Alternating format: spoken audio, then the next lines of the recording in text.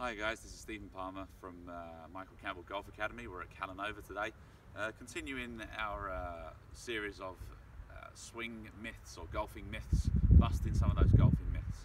Um, talking about spinning the ball, specifically spinning the wedges.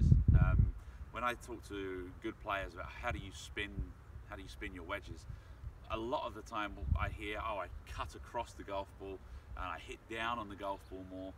Um, now in a, in, a, in a full shot, yeah, these two things are going to produce maybe a little bit more spin, but they're not going to produce very efficient strikes. I'm going to show you exactly what you need to spin your wedges and specifically to hit that low spinning pitch.